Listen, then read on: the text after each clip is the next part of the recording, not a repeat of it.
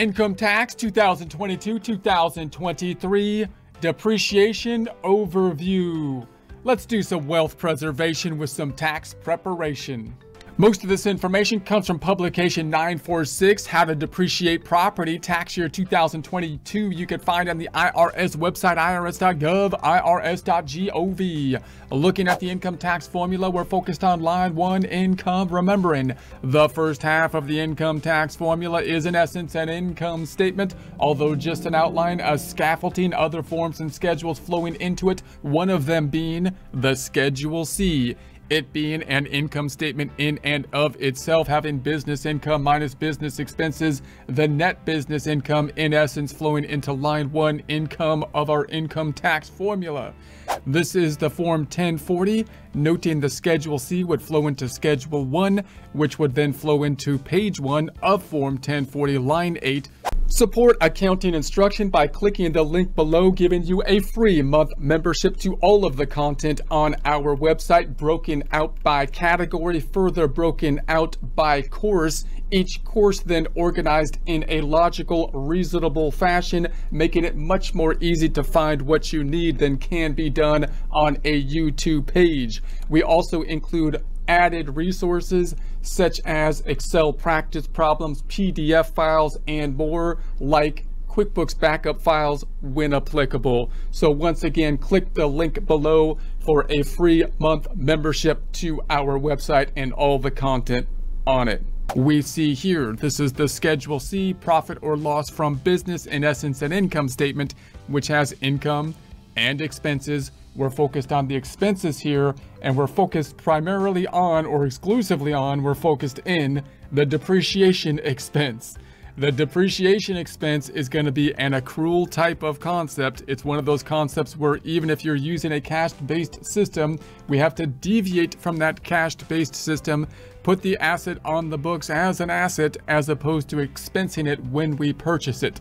So for example, if you're on a cash-based system and you buy a large piece of equipment, then generally, even if paying cash for that equipment, we can't just expense it as equipment expense, but rather usually have to put it on the books as an asset and then depreciate it not according to generally accepted accounting principle depreciations, but rather in accordance to whatever the tax code says we have to do with regards to depreciation. Those two rules between normal accounting depreciation and tax depreciation being quite different, meaning depreciation from an accounting standpoint would try to allocate the cost of the thing that was purchased over the useful life that it was used in trying to accommodate the matching principle, meaning we want to be depreciating the item, expensing it, and, and allocating the expense to the same period in which it was used, consumed, to generate revenue.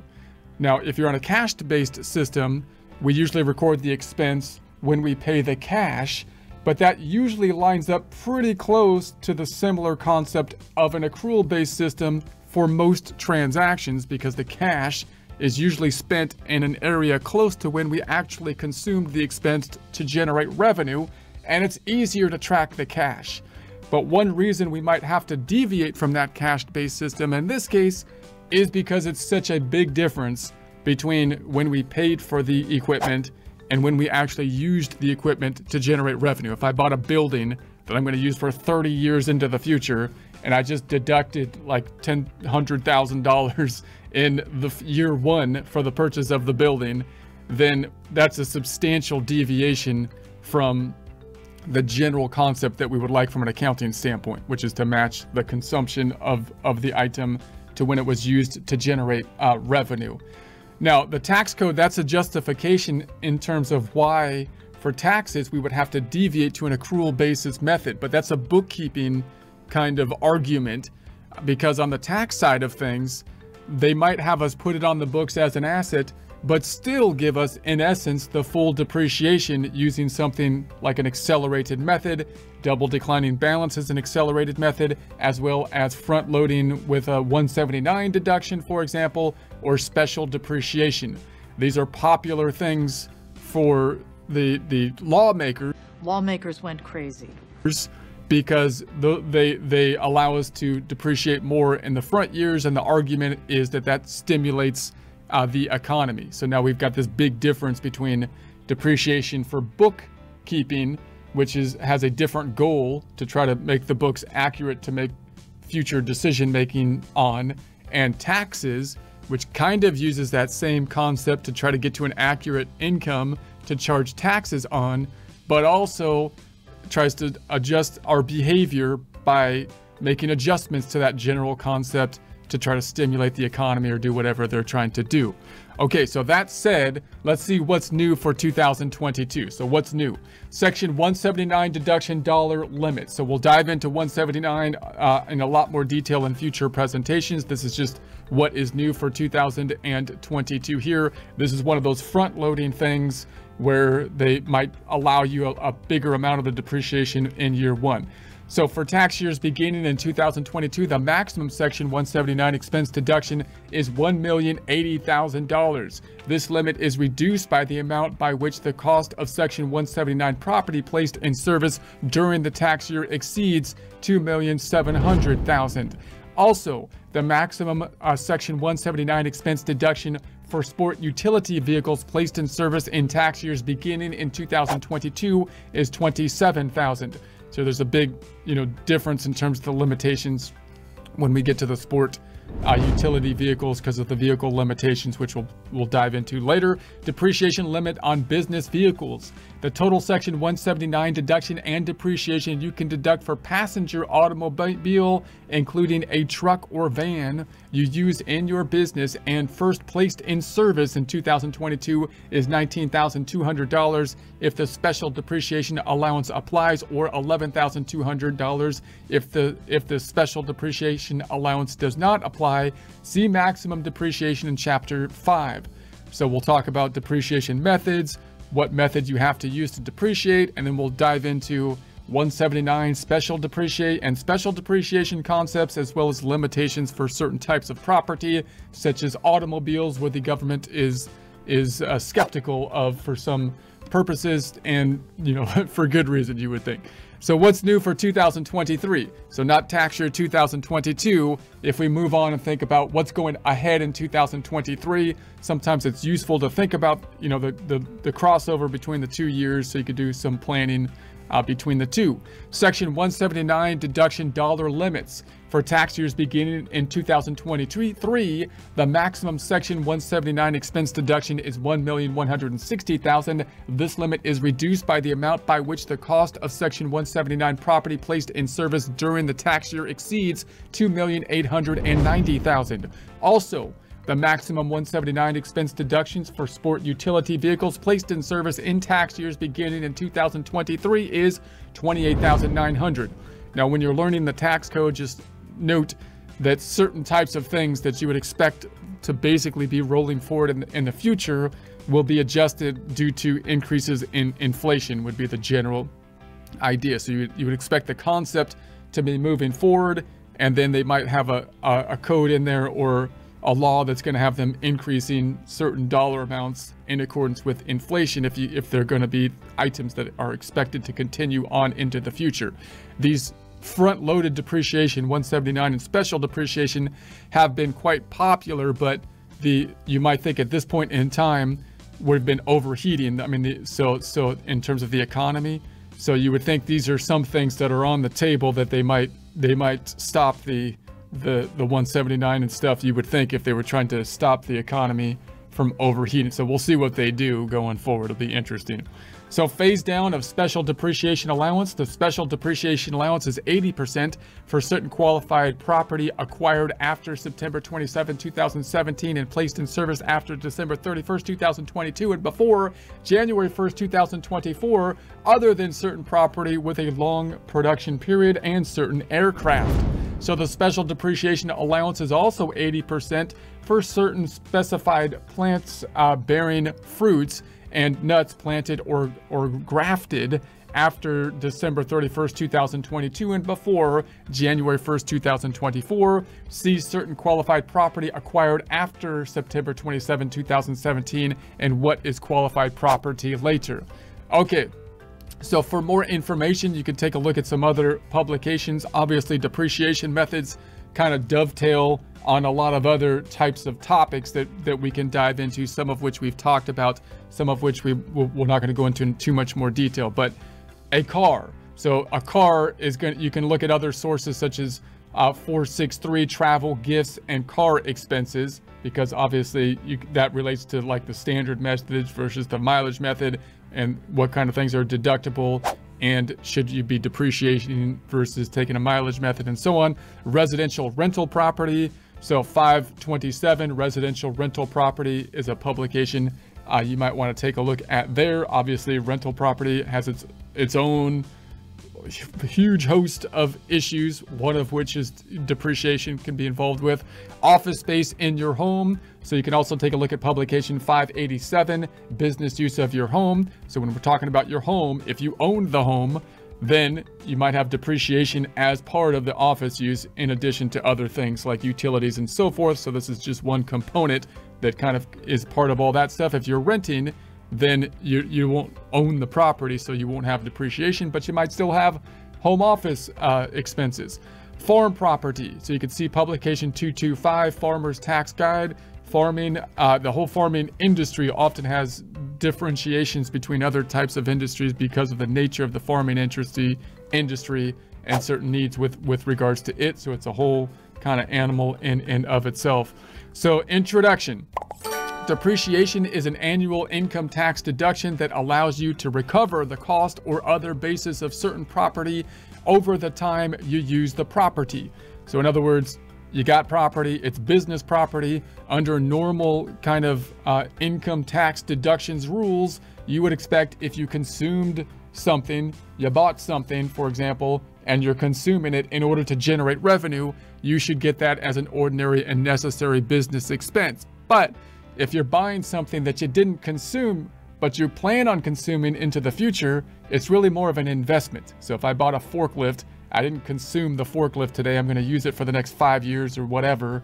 So I, sh I should, on an accrual basis or just conceptually, you would think that you wouldn't get the deduction until you, until you consume the forklifts and allocate the cost over the useful life of the forklift.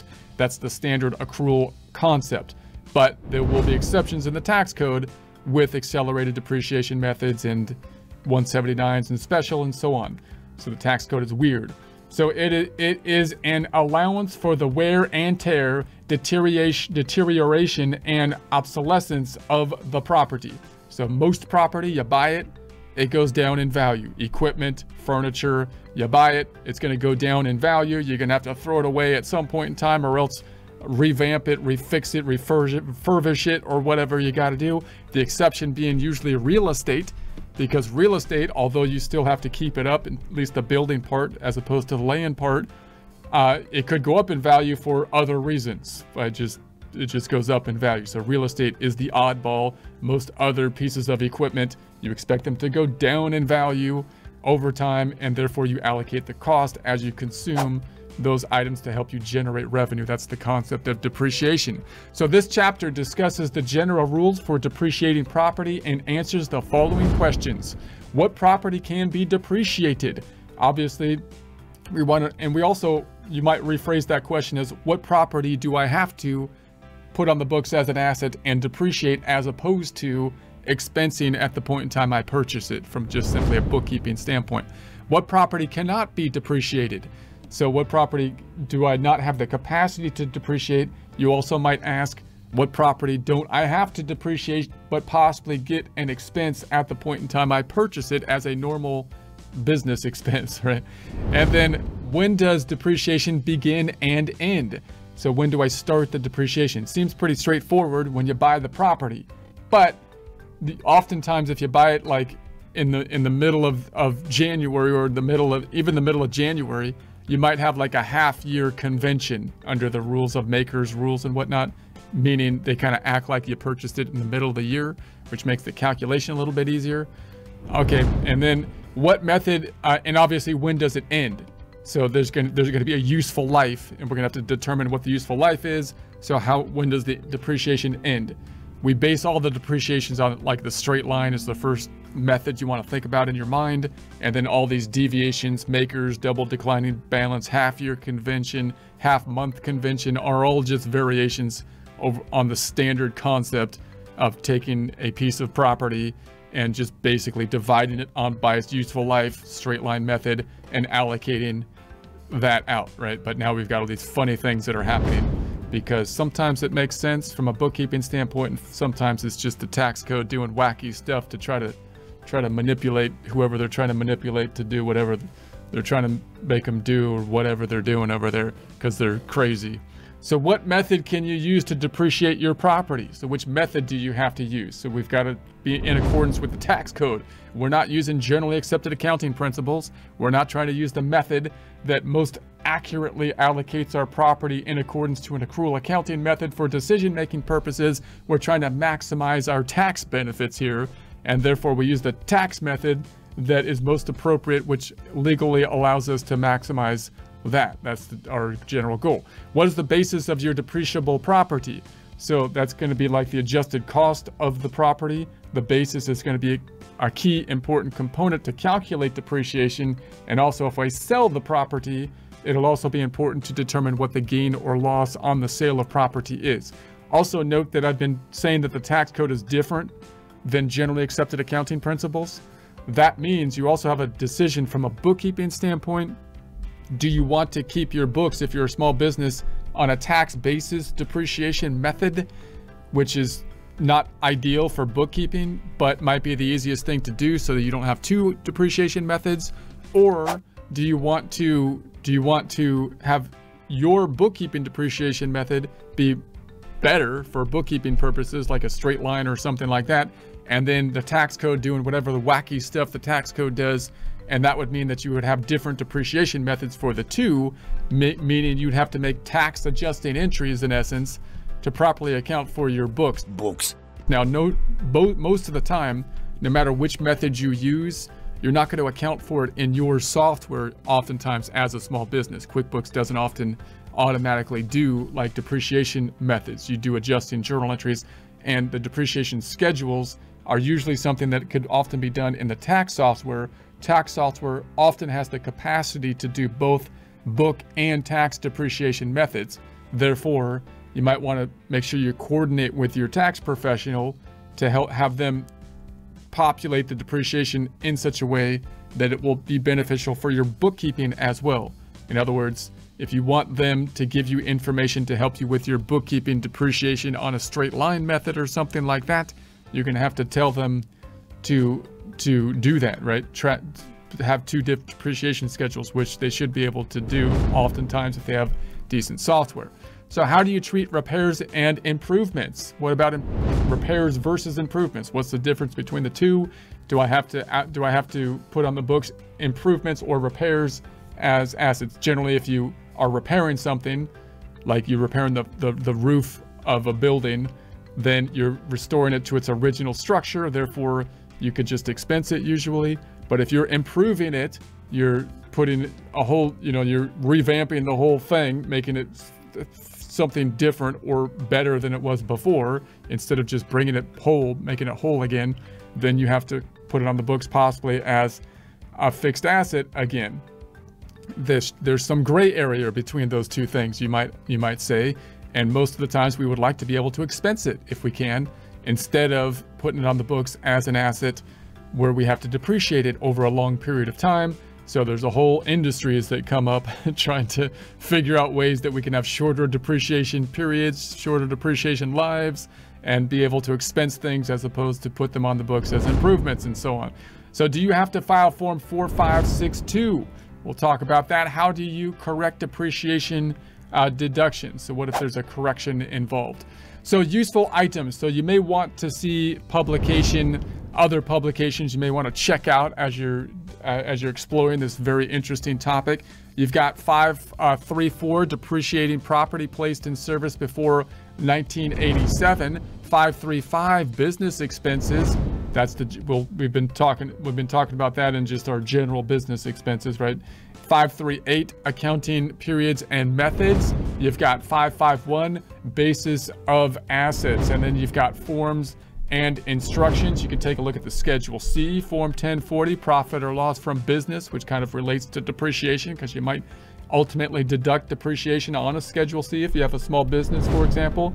Uh, 21, Form 21 uh, 06 employee business expense. You've got form uh, 3115 application for change in accounting method. If you want to change things up on the accounting method, you got to ask permission for that. Uh, form 4562 depreciation and amortization. So you could take a look at those forms and the related instructions for them. So terms you may need to know as we go through this whole depreciation thing.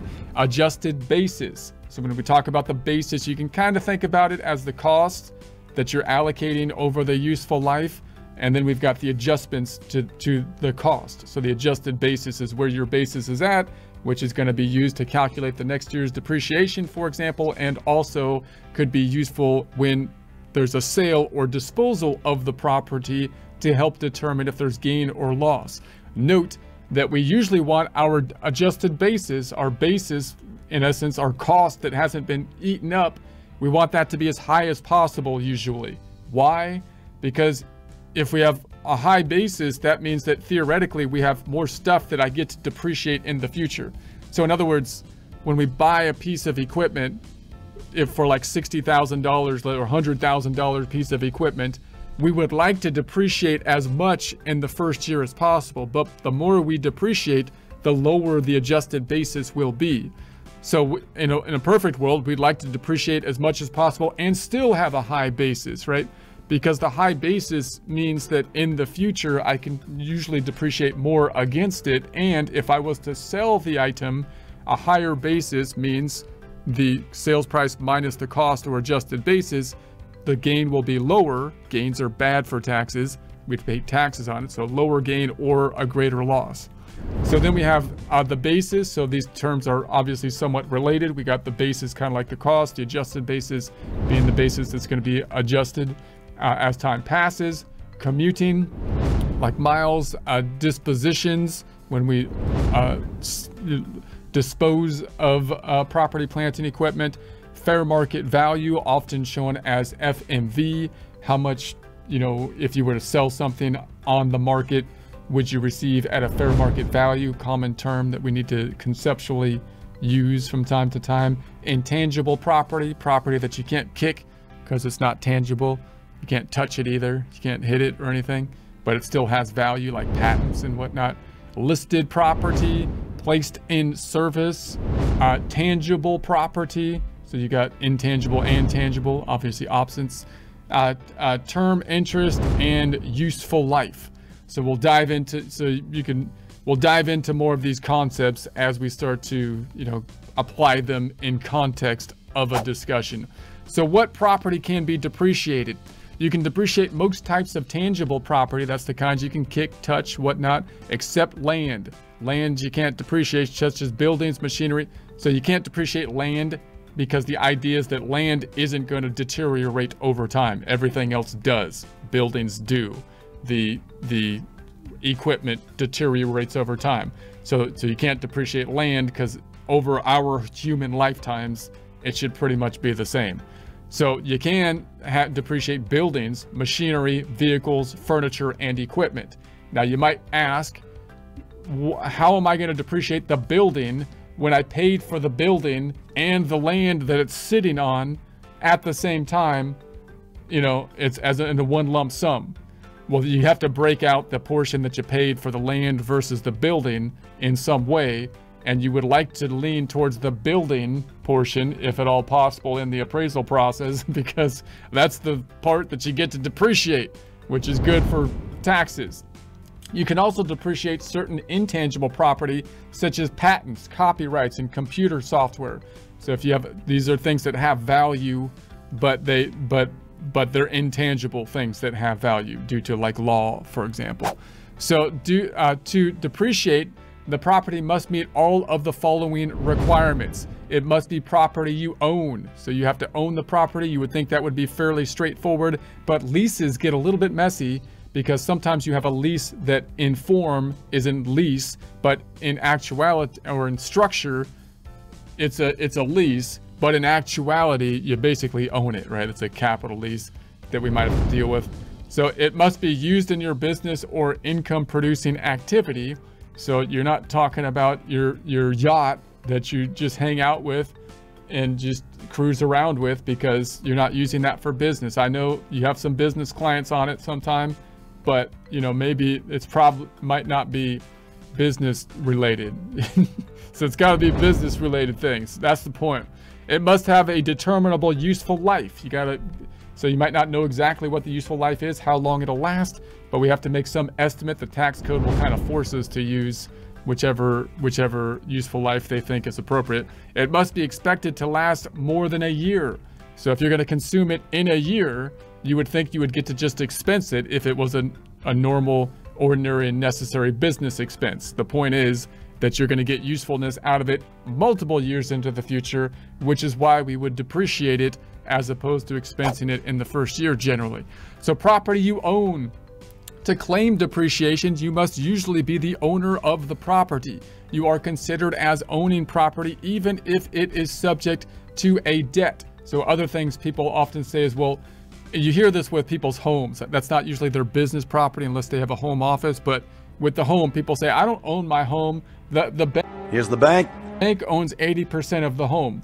That's not technically true. It it's kind of a, it's it's kind of one of my little pet peeve. It kind of annoys me when people say that a little bit because sometimes they're joking and that's not that's fine but but you know there, sometimes it's actually serious i think people actually take this seriously now and, and there's a difference there's a difference between owning the property like a home for example and the, and having a loan to the bank of 80% of it than than the bank owning the home and and you can tell that difference because like if the bank came to your front door and they asked you to paint your house blue or something uh, you know, they don't get to say that. They don't have any say over what color to paint. They don't get any say on what your driveway looks like, what kind of plants you're going to put in the, the yard or anything like that. They don't own your home. They don't have any rights to tell you what to do on the home. What they do have is the capacity to take action if you don't fulfill your contract to pay them on time, right? That's a that's a different thing. You don't have to you don't have to have a committee with the bank to to ask about whether or not you should you should have a garden in your backyard or anything like that. So so there's a, there's a difference. You could have a debt on something but still own it and and uh, depreciate it. If you took out a loan for business property, then you're going to be paying interest on on the loan as well. So example one, so you made a down payment to purchase rental property and assumed the previous owner's mortgage. So you own the property and you can depreciate it. Example two, you bought a new van that you will use only for your courier business. You will be making payments on the van over the next five years. You own the van and can depreciate it. Okay, leased property. Here's where it gets messy because sometimes people, they try to structure the lease as a lease, even though it's actually, in essence, basically a purchase. And why would they do that? Oftentimes for tax reasons or liability reasons or something like that. So now you have situations where you got to think, okay, it's a lease, but now it's a capital lease because they structured it as a lease, but it's basically a purchase because it looks pretty much like a purchase. So you can depreciate lease property only if you retain the incidence of ownership in the property explained below. So this means you bear the burden of exhaustion of the capital investment in the property. Therefore, if you lease property from someone to use it in your trade or business or for the production of income, generally you cannot depreciate its cost because you do not retain the incidence of ownership. So if it's a normal ordinary lease, you lease the equipment and you're gonna, it's not your equipment, then you would think that you would just be able to expense the cost of the lease payments that you are making as you make the lease payments as opposed to putting it on the, or treating the lease as a purchase, right? That would be the normal process. But if in essence like you're you you're guaranteed to have that equipment for like 80% of the useful life of the equipment the way the lease is structured or if you're guaranteed to pay like 100% or a large portion of the price of the equipment by the time the lease term is up, or if at the end of the lease term, you are like gonna be able to have the option, quotes, option quote, to buy the property for like a dollar, which is a very insignificant dollar amount to be paying for a piece of property, it looks a lot like a purchase in actuality and not an actual lease, right, in those cases. So if uh, you can, however, depreciate any capital improvement you make to the property. So you can see how you treat repairs and improvements uh, later in this chapter and additions and improvements under which recovery period applies in chapter 4. If you lease property to someone, if you lease property to someone, you can generally depreciate its cost even if the lessee, the person leasing from you, has agreed to preserve, replace, renew, and maintain the property. However, if the lease provides that the lease is to uh, is to maintain the property and return to you the same property or its equivalent in value at the expiration of the lease in as good condition and value as when leased, you cannot depreciate the cost of the property. So incidents of ownership. Incidents of ownership in property include the following. So uh, the legal title to the property, uh, the legal obligation to pay for pay for the property. So obviously, when you're trying to say, is it your property, uh, title is going to be a good indication. Uh, you, you, you, obligation to pay for the property, you paid for it. That would be a good indication because you actually paid for the property. The responsibility to pay maintenance and operating expenses.